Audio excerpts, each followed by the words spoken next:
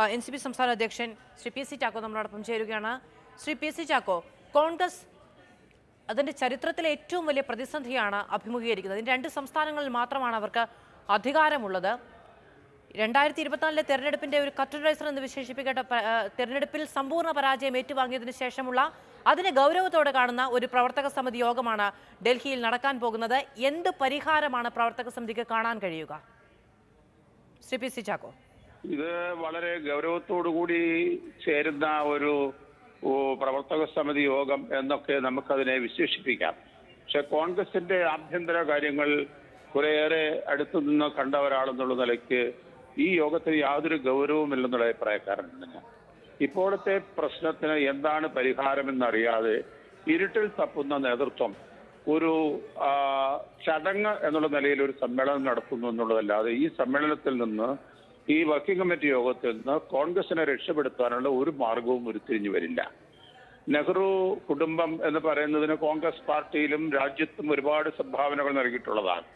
അതിന് സംശയമൊന്നുമില്ല അക്കാര്യത്തിൽ. പക്ഷേ എല്ലാ കാര്യങ്ങളും ഒന്നോ രണ്ടോ ആളുകൾ മാത്രം അറിഞ്ഞു നടക്കുകയും കോൺഗ്രസിലെ ആഭ്യന്തര ജനാധിപത്യം പടിപടിയായി പൂർണമായും നഷ്ടപ്പെടുകയും ചെയ്യുന്ന ഒരു സാഹചര്യത്തിലാണ് കഴിഞ്ഞ കുറെ നാളുകളായിട്ട് കോൺഗ്രസിന്റെ രാജ്യം സാക്ഷ്യം വഹിച്ചുകൊണ്ടിരുന്നത്. അത് വന്ന അവസാനം എത്തി നിൽക്കുന്നത് ഈ ദുരന്തത്തിലേക്കാണ്. തെരഞ്ഞെടുപ്പ് പരാജയത്തിന്റെ ഉത്തരവാദികളെ തേടിയാണെങ്കിൽ ഈ തെരഞ്ഞെടുപ്പ് പരാജയത്തിന്റെ ഉത്തരവാദി യു പിയിൽ പ്രിയങ്ക ഗാന്ധിയാണ് അതല്ലെങ്കിൽ അഖിലേന്ത്യാ തലത്തിൽ നേതൃത്വത്തിന് പ്രസിഡന്റ് നേതൃത്വം കൊടുത്ത രാഹുൽ ഗാന്ധിയാണ് എന്നൊക്കെ അല്ലേ പറയാൻ കഴിയൂ? അല്ലാതെ പ്രാദേശിക നേതാക്കന്മാരാണെന്നോ സ്ഥാനാർത്ഥികളാണെന്നോ ഒരു നിഗമനത്തിലെത്താൻ കഴിയില്ലല്ലോ. അപ്പൊ ഈ തെരഞ്ഞെടുപ്പ് ഈ വർക്കിംഗ് കമ്മിറ്റി വ്യക്തമായൊരു നിർദ്ദേശമോ വ്യക്തമായൊരു പിന്നെ വഴി കണ്ടുപിടിക്കാനോ ഒന്നും കഴിയാതെ തെരഞ്ഞെടുപ്പിൽ ദയനീയമായി തോറ്റു കഴിഞ്ഞാൽ ഒരു കമ്മിറ്റി കൂടാതെ കഴിയുമോ? അപ്പൊ അവർക്ക് പറയണമെങ്കിൽ അടിയന്തര പ്രാധാന്യത്തോടു കൂടി വർക്കിംഗ് കമ്മിറ്റി കൂടുന്നു ആലോചിക്കും. ഈ വർക്കിംഗ് കമ്മിറ്റി രണ്ട് ദിവസം രാവും പകലും കൂടിയാലും സ്വന്തം ഉത്തരവാദിത്തങ്ങളെ കുറിച്ച് മനസ്സിലാക്കാത്ത നേതൃത്വത്തിന് ഒരു പരിഹാരവും കണ്ടുപിടിക്കാൻ കഴിയില്ല. യു പിയിലെ നാനൂറ്റി മൂന്ന് സീറ്റുകളിൽ ബി ജെ പിക്കെതിരെ പരസ്പരം മത്സരിക്കാതെ ഒരു അങ്ങോട്ടും ഇങ്ങോട്ടും മത്സരമില്ലാത്ത ഒരു മുന്നൂറ് സീറ്റുകളെങ്കിലും ഉണ്ടാക്കിയെടുക്കാൻ കഴിയുമോ എന്ന് പരിശോധന ഇവർ നടത്തിയോ? പ്രിയങ്ക ഗാന്ധി പറഞ്ഞു ഞങ്ങൾ നാനൂറ്റി മൂന്ന് സീറ്റിലും സ്ഥാനാർത്ഥികൾ നിർത്തുമെന്ന് പറഞ്ഞു. പക്ഷെ കോൺഗ്രസിന്റെ ഇന്നർ സർക്കിളിൽ എന്നും അറിയാം അവിടെ കോൺഗ്രസിന് പത്ത് ശതമാനത്തിൽ താഴെ വോട്ടുള്ളൂ. ഒരു സീറ്റിൽ ജയിക്കാൻ കഴിയില്ല. എത്ര ദയനീയമായ പരാജയം ഏറ്റുവാങ്ങിയതാ. അത് അഹങ്കാരം കൊണ്ടും യാഥാർത്ഥ്യബോധമില്ലായ്മ കൊണ്ടും കോൺഗ്രസ് എവിടെ നിൽക്കുന്നു എന്നുള്ളതിനെ കുറിച്ച് യാതൊരു ധാരണയുമില്ലാതെ പ്രിയങ്കയെ ഒറ്റയ്ക്ക് അങ്ങനെ കുറ്റപ്പെടുത്താൻ കഴിയുമോ? കാരണം പ്രിയങ്ക ഗാന്ധി യു പിയിൽ നടത്തിയ എല്ലാ റാലികളിലും വലിയ ജനപങ്കാളിത്തം ഉണ്ടായിരുന്നു. പ്രിയങ്കയോട് വലിയ തോതിൽ ആഭിമുഖ്യം പുലർത്തുന്ന വലിയ ജനവിഭാഗം പ്രിയങ്കയോടും നെഹ്റു കുടുംബത്തോടും ആഭിമുഖ്യം പുലർത്തുന്ന വലിയ ജന ജനസമൂഹം അവിടെയുണ്ട്. പക്ഷേ അത് വോട്ടാക്കി മാറ്റുന്നതിൽ പരാജയപ്പെട്ടത് കോൺഗ്രസിന്റെ സംവിധാനമാകുകയല്ലേ അവിടെയുള്ള നേതാക്കൾക്ക് കൂടി അതിൽ ഉത്തരവാദിത്തമില്ലേ? ഇതാണ് നമ്മളുടെ ഒരു തെറ്റിദ്ധാരണ. യോഗത്തിന് ആൾ കൂടുന്നതിനെ കണ്ടിട്ട് പ്രിയങ്ക ഗാന്ധി ഒരു ക്രൗഡ് പുള്ളറാണ് അവരുടെ യോഗങ്ങളൊക്കെ സാധാരണഗതിയിൽ നല്ല വെൽ അറ്റൻഡഡ് ആണ് സംശയമൊന്നുമില്ല. പക്ഷേ ഈ വരുന്ന ആളുകളെ വോട്ടാക്കി മാറ്റുക എന്ന് പറയുന്ന ഒരു പ്രക്രിയ ഇതൊക്കെ വളരെ തെറ്റായ പ്രയോഗങ്ങളാണ്. നിയോജകമണ്ഡലങ്ങളിൽ കമ്മിറ്റികളുണ്ടോ മണ്ഡലങ്ങളിൽ കമ്മിറ്റികളുണ്ടോ കഴിഞ്ഞ എട്ട് വർഷമായി പ്രിയങ്കയാണ് ഉത്തർപ്രദേശിന്റെ സംഘടനയുടെ ചുമതലയുള്ള ആൾ. General secretary in charge of U P അവരെത്ര ജില്ലയിൽ കമ്മിറ്റി ഉണ്ടാക്കി എത്ര ബ്ലോക്കിൽ കമ്മിറ്റി ഉണ്ടാക്കി എത്ര മണ്ഡലങ്ങളിൽ കമ്മിറ്റി ഉണ്ടാക്കി ഏത് തെരഞ്ഞെടുപ്പും ജനങ്ങൾ വോട്ട് ചെയ്യുന്ന തെരഞ്ഞെടുപ്പ് നടക്കുന്ന ബൂത്തിലാണ്. അല്ലാതെ ഡൽഹിയിലും ലഖ്നൌവിലും ഒന്നുമല്ല.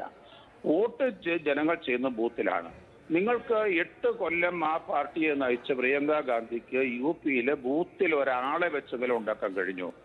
പണ്ഡിറ്റ് ജവഹർലാൽ നെഹ്റുവിന്റെ നിയോജകമണ്ഡലമായിരുന്ന ഫുൽപൂർ മുതൽ റേബറേലി മുതൽ അമേത്തി വരെ മൂന്ന് നാല് തലമുറകൾ ഭരിച്ചിരിച്ച നിയോജകമണ്ഡലങ്ങൾ. നാല് നിയോജകമണ്ഡലങ്ങളിൽ ഓരോ നിയോജകമണ്ഡലത്തിൽ ആറ് അസംബ്ലി വെച്ച് ഇരുപത്തിനാല് നിയോജകമണ്ഡലങ്ങളിൽ ഒരൊറ്റ സീറ്റിൽ പോലും ജയിക്കാൻ കഴിഞ്ഞിട്ടില്ല. ഇപ്പോഴത്തെ പുതിയ കഥയല്ല. അവിടെ പഞ്ചായത്ത് ഇലക്ഷൻ നടന്നു ത്രിതല പഞ്ചായത്ത് ഇലക്ഷൻ നടന്നു അസംബ്ലിയിലേക്ക് ഇലക്ഷൻ നടന്നു പാർലമെന്റ് ഇലക്ഷൻ നടന്നു. തോൽവി ഒരു തുടർക്കഥയാണ് യു പിയിൽ അന്നൊന്നും ഈ സോണിയാഗാന്ധി പ്രിയങ്ക ചെല്ലുമ്പോൾ ആൾ കൂടുന്നു അതൊക്കെ കൊണ്ട് ജയിക്കും എന്നൊക്കെ കണക്ക് കൂട്ടുന്നത് വളരെ ഉപരിപ്ലവമായ ഒരു കണക്കാണ്. ഈ തെരഞ്ഞെടുപ്പിന് ആൾ കൂടുന്നു എന്ന് പറയുന്നത് യു പി എ സംബന്ധിച്ചിടത്തോളം അത് കോൺഗ്രസിന്റെ പിന്തുണയാണ് ശക്തിയാണെന്ന് ആരെങ്കിലും ധരിച്ചാൽ ആരെങ്കിലും വ്യാഖ്യാനിച്ചാൽ അത് വളരെ തെറ്റായ ഒരു വിലയിരുത്തലായിരിക്കും കാര്യത്തിൽ ഒരു സംശയവുമില്ല. കോൺഗ്രസിന് കുറച്ച് നേതാക്കളും കുറച്ച് ആൾക്കൂട്ടത്തിനും അപ്പുറത്ത് സംഘടനാപരമായ കൃത്യമായ ഒരു അഴിച്ചുപണി ആവശ്യമുള്ള സമയമാണ്. പക്ഷെ അവിടെ പോലും സംഘടനാ തെരഞ്ഞെടുപ്പടക്കം കൃത്യമായി കൊണ്ടുപോകാൻ കഴിയുന്നില്ല. കേരളത്തിൽ നിന്നുള്ള ലിസ്റ്റ് അടക്കം ഏറ്റവും കഴിഞ്ഞ രണ്ടാഴ്ച മുമ്പാണ് കേരളത്തിൽ നിന്നുള്ള പുനഃസംഘടനയുമായി ബന്ധപ്പെട്ട ലിസ്റ്റുമായി വലിയ തരത്തിൽ വിവാദം ഉണ്ടാകുന്നതും അത് ഹൈക്കമാൻഡ് നേരിട്ട് വെട്ടുന്നതും എം പിമാരുടെ അതൃപ്തിയെ തുടർന്നുമൊക്കെ. അതായത് ഈ പാർട്ടി തിരിച്ചു വരണമെന്ന് പറയുന്നവർ തന്നെയാണ് ഈ പാർട്ടിയുടെ തിരിച്ചു വരവിന് തടസ്സമായി നിൽക്കുകയും ചെയ്യുന്നത്. ഈ വ്യാഖ്യാനങ്ങളിലൊന്നും ഒതുങ്ങുന്നതല്ല കോൺഗ്രസിന്റെ പരാജയം. ഇന്ന് സംസ്ഥാനത്ത് രാജസ്ഥാനിലും ഛത്തീസ്ഗഡിലും രണ്ട് രാജ്യത്തെ രണ്ട് സംസ്ഥാനങ്ങൾ ഒഴിച്ചാൽ കോൺഗ്രസ് ഒരു സ്ഥലത്തുമില്ല. ഈ രണ്ട് സംസ്ഥാനങ്ങളിലും തെരഞ്ഞെടുപ്പ് നടന്നാൽ ഒരുപക്ഷെ അവർക്ക് അത് നിലനിർത്താൻ കഴിയുമോ എന്നറിയില്ല. ഒരൊറ്റ സംസ്ഥാനത്ത് പോലും ഇല്ലാതെ കോൺഗ്രസ് മാറിയതിന്റെ ഉത്തരവാദികൾ ആര് എന്ന് ചോദിച്ചാൽ ആരുടെയും മറ്റാരുടെയും നേരെ വിരൽ ചൂണ്ടാൻ ഈ സോണിയ സോണിയാഗാന്ധിക്കും രാഹുൽ ഗാന്ധിക്കും പ്രിയങ്ക ഗാന്ധിക്കും ഒന്നും കഴിയില്ല. കൂടെ നിൽക്കുന്ന ആളുകൾ കൊടുക്കുന്ന നിർദ്ദേശങ്ങളെ പോലും തൃണവൽഗണിച്ചുകൊണ്ട് അവഗണിച്ചുകൊണ്ട് അവരുടെ ഒരു തരത്തിലുള്ള ആഘാതി പഞ്ചാബിൽ. പഞ്ചാബിലെ വളരെ പോപ്പുലർ ആയിട്ടുള്ള ഒരു ചീഫ് മിനിസ്റ്ററെ മാറ്റി അദ്ദേഹത്തെ അപമാനിച്ച് അദ്ദേഹത്തെ പുറത്താക്കിയതിന്റെ പൂർണ ഉത്തരവാദിത്വം രാഹുലിനും സോണിയയ്ക്കും തന്നെയാണ്. ഞാനിത് അകത്തു നിന്ന് കണ്ടിരുന്ന ഒരാളെന്നുള്ള നിലയ്ക്ക് പറയുകയാണ് ശ്രീ ക്യാപ്റ്റൻ അമരീന്ദർ സിംഗിന്റെ കാര്യം.